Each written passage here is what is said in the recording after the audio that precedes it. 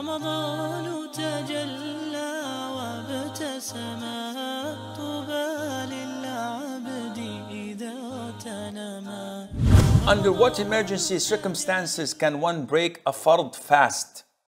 You cannot break a fard fast unless you have a legitimate reason. And these legitimate reasons were mentioned in the Quran being sick or traveling.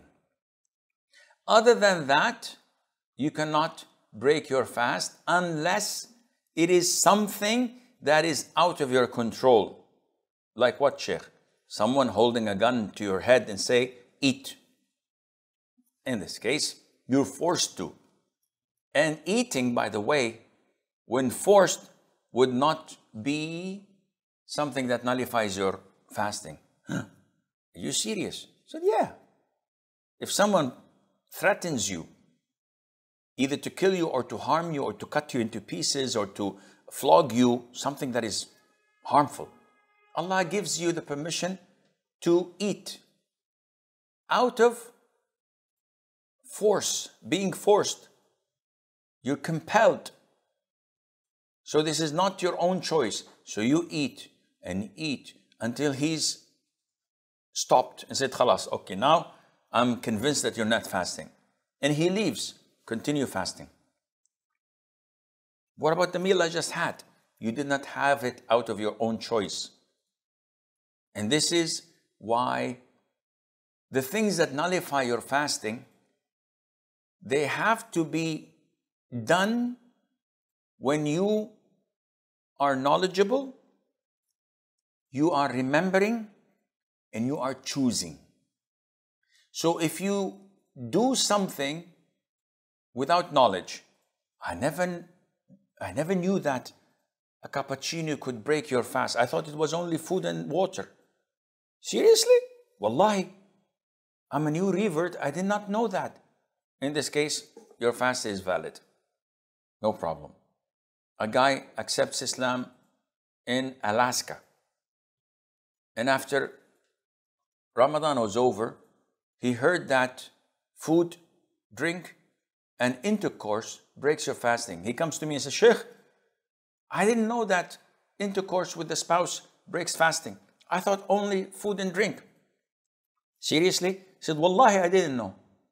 Said, Your fasting is valid because you did not know. So, knowledge is one of the conditions required so that your fasting would break by consuming or doing any of the nullifiers of fasting. Two, remembering. What do you mean by remembering? People forget. One of my sons in law called me one day and he said, Uncle, today I'm fasting. I went to work. Before I went to work at 7 o'clock, I opened the fridge, made a sandwich, drank a glass of milk, and took an apple. And after I finished the apple, I said, I'm fasting. So I said, No problem. Your fasting is valid. The Prophet said, والسلام, Whoever forgets and eats or drinks while fasting, Allah has fed him and Allah has provided him with water. He should continue fasting. He says, Zakallah khair, uncle. In the afternoon, he calls me. He said, I was at work. And the boys at work went and bought Al Baik, which is a very well known brand of uh, fried chicken in Saudi. So they said, Come and eat. And I went and ate and ate garlic and drank Pepsi. And after I finished, I smacked myself, dope slop, and said, I'm fasting. What should I do? Akhi, come on. Breakfast, okay. Lunch, tomorrow, no, what, what else? But again, the ruling is the same. It's between him and Allah. Did you forget? He said, Wallahi, I forgot. And then your fasting is still valid. But man, with such forgetfulness, I wish I have this in Ramadan every single day. To have two full meals and then claim it's out of forgetfulness, this is between you and Allah Azza wa Jal. So, Alhamdulillah, knowledge and remembering. The third is choosing.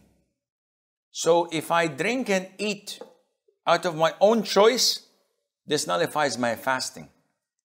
But if I was compelled and forced to do this, and if I don't, harm will catch up with me, or I will be killed or tortured or injured, this is a legitimate reason to eat until this threat is uplifted. And then I have to refrain and continue my fasting. Likewise, may Allah protect all of us. If a woman was raped while fasting, she's resisting, she's fighting, but she was overwhelmed. Does she break her fast? No. If a wife was forced by her husband, she resisted, she continued to fight till the end. Does she break her fast?